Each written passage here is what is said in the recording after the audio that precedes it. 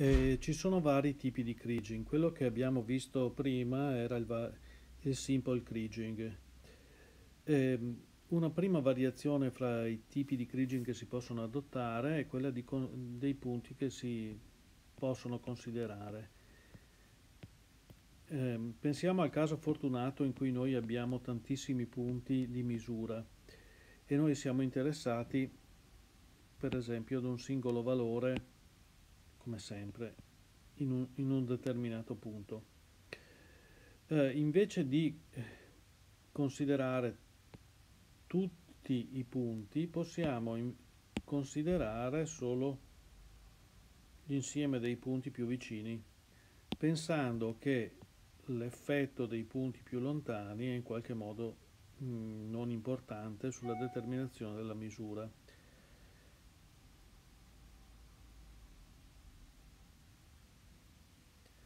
In questo caso siamo di fronte a un kriging locale.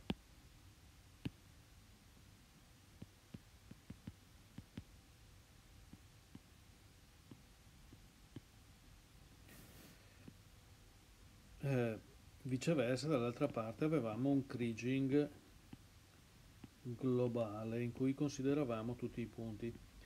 Bisogna pensare che le relazioni fra i punti crescono molto velocemente il numero di, di punti supponiamo di considerare questo punto noi abbiamo n-1 legami con gli altri punti e così per ogni altro punto. Quindi il numero di operazioni che si devono fare per interpolare il kriging se si considerano tanti dati di misura può essere eh, molto elevato e il tempo di, di calcolo altrettanto questa è la considerazione pratica del, dell'uso di un, di un kriging locale invece che un kriging globale.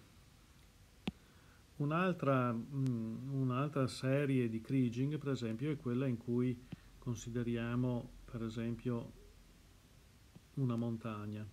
Come varia la temperatura con la quota?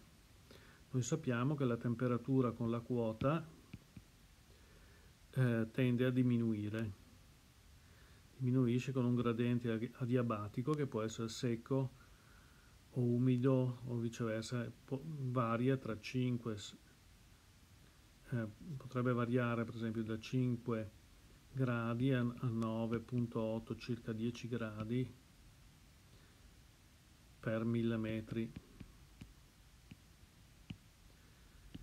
E in questo caso non ha molto senso se, noi, se i nostri punti sono posti a quote differenti,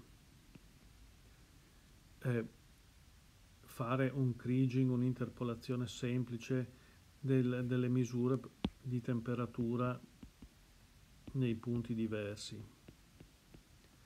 Eh, vale piuttosto la pena di sottrarre un andamento generale, o um, generale ma, ma magari anche locale di temperatura, per esempio una, una curva di questo tipo, quindi un piano nelle, nelle temperature, sottrarre quindi da T1 meno eh, delta T che è dovuta al gradiente eh, al gradiente di temperatura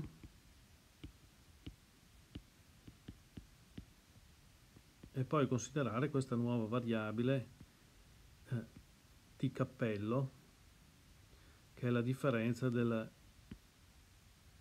che è la differenza fra le due temperature. E quindi fare il kriging solo su t cappello cioè la temperatura senza il trend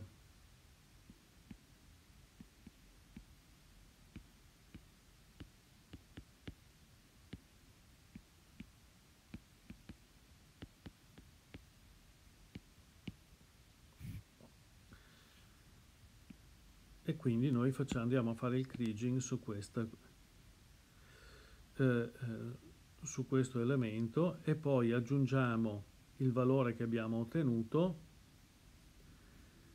eh, i valori che abbiamo ottenuto al, al trend che, ave che avevamo sovraimposto.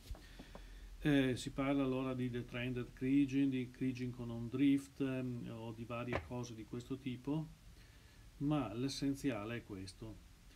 Eh, questi saranno i vari tipi di kriging che, che noi vedremo poi anche nelle esercitazioni. Ci sono naturalmente ulteriori variazioni su questo tema, per esempio consideriamo un fiume e supponiamo di avere alcune misure sul fiume, per esempio in queste posizioni. È interessante pensare che in questo caso eh, i, i dati che noi andiamo a misurare non sono legati alla distanza fra i punti, bensì alle, eh, alle relazioni reciproche che questi punti hanno lungo, lungo il fiume. Per esempio questo punto potrà essere correlato con quello a valle e così questo. E, ma questi due punti 1 e 2 potrebbero non avere nessuna relazione tra di loro dal punto di vista della quantità che stiamo osservando. E allora esistono anche dei tipi di kriging che tengono conto di queste interazioni di tipo topologico.